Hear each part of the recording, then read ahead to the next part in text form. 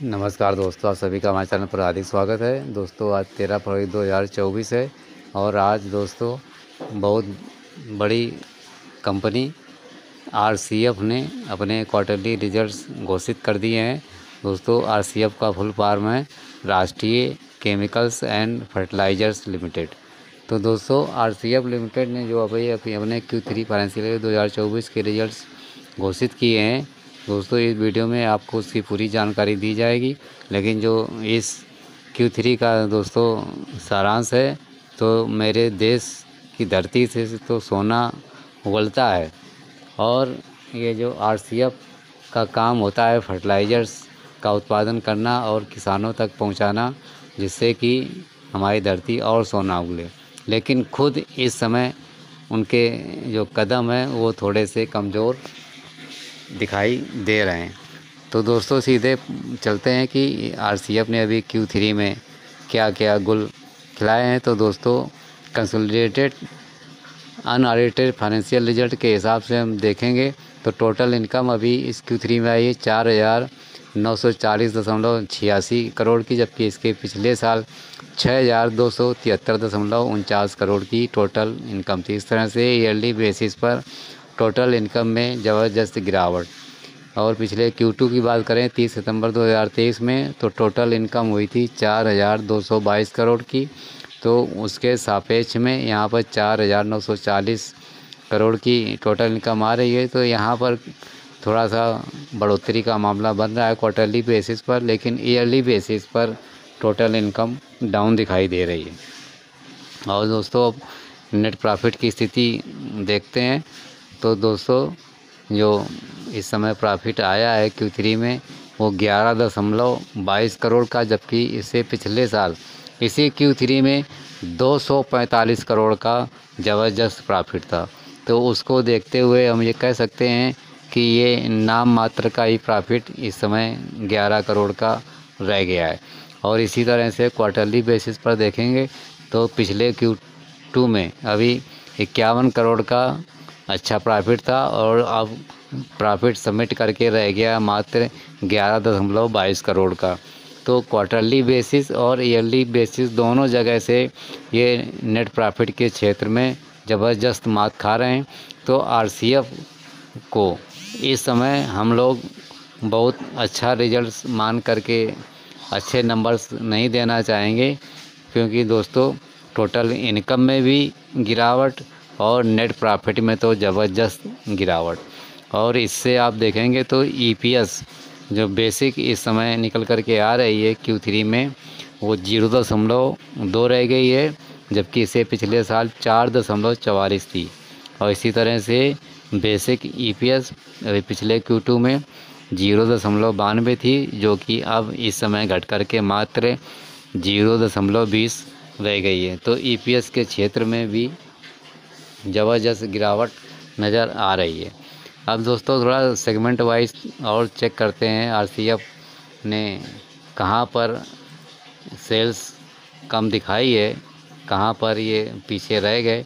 तो दोस्तों, इन्होंने चार सेगमेंट्स अपने कंसोलिडेटेड सेगमेंट्स में दिखाए हुए हैं। इसमें पहला फर्टिलाइजर्स दूसरा इंडस्ट्रियल केमिकल्स तीसरा ट्रेडिंग और चौथा अनएलोकेटेड तो दोस्तों, पहले इनके सेगमेंट फर्टिलाइज़र्स ने अभी क्यू थ्री में तीन हज़ार तेरह दशमलव अड़सठ करोड़ की रेवेन्यू अर्ज़ की है, जबकि पिछले साल चार हज़ार दो सौ पच्चीस करोड़ की रेवेन्यू अर्जित की थी।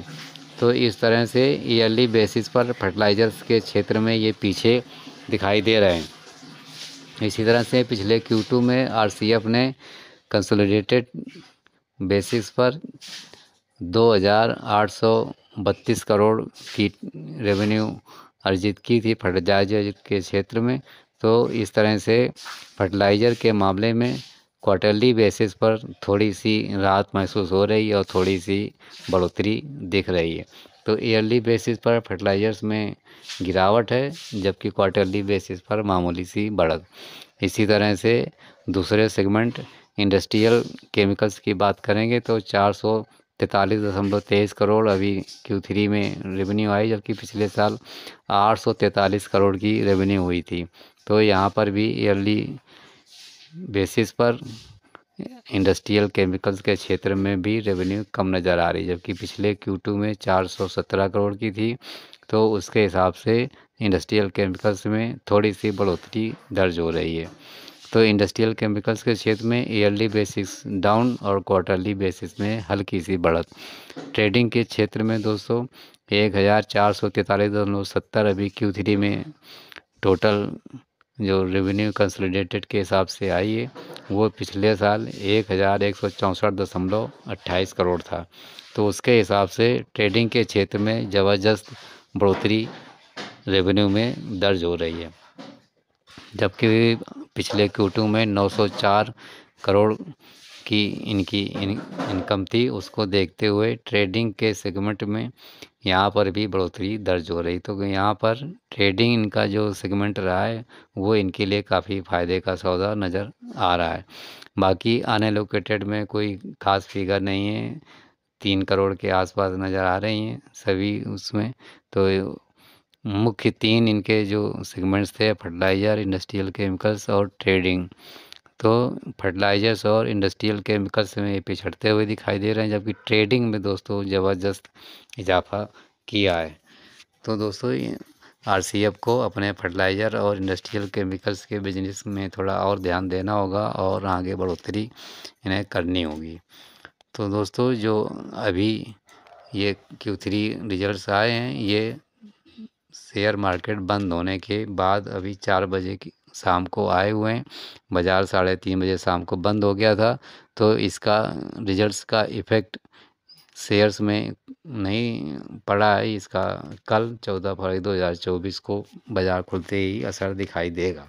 दोस्तों, जो आज क्लोजिंग बनी है आर सी एफ़ की एन एस सी पर, वो एक सौ सैंतालीस रुपये पचास पैसे पर, मामूली सी गिरावट ज़ीरो दशमलव सतहत्तर परसेंट की गिरावट, एक सौ सैंतालीस रुपये पचास पैसे पर बंद हुआ है और आज दिन भर मामूली सी उठापटक के साथ में ट्रेडिंग चली है और ये हाई एक सौ इक्यावन और लो एक सौ बयालीस रुपये सत्तर पैसे के बीच में ये ट्रेडिंग चलती रही है।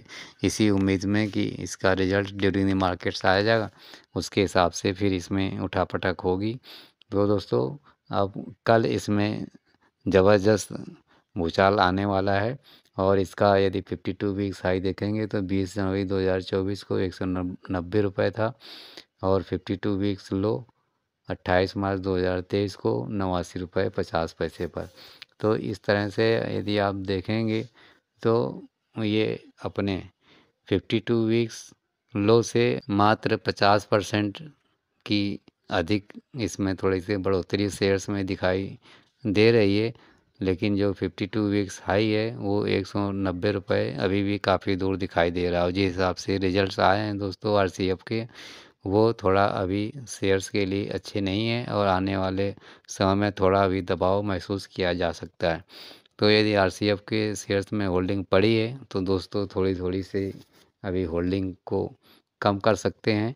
और दोस्तों, गिरावट पर दोबारा से आप एंट्री कर सकते हैं। नए निवेशक अभी थोड़ा इंतज़ार करें शेयर्स में और अभी गिरावट आने दें। और दोस्तों, इसका शेयर सौ रुपये एक सौ बीस रुपये के आसपास आने पर तभी नई एंट्री ली जा सकती है। तभी शॉर्ट टर्म और लॉन्ग टर्म में अच्छे पैसे बनाए जा सकते हैं। तो दोस्तों आरसीएफ का जो ये कमज़ोर रिज़ल्ट आया है, उसको ध्यान में रख करके इन्वेस्टर अपने इस आरसीएफ को अपने पोर्टफोलियो में शामिल करने के लिए काफ़ी विचार विमर्श करें और रिसर्च भी करें। उसके बाद ही इसमें नया हाथ डालें।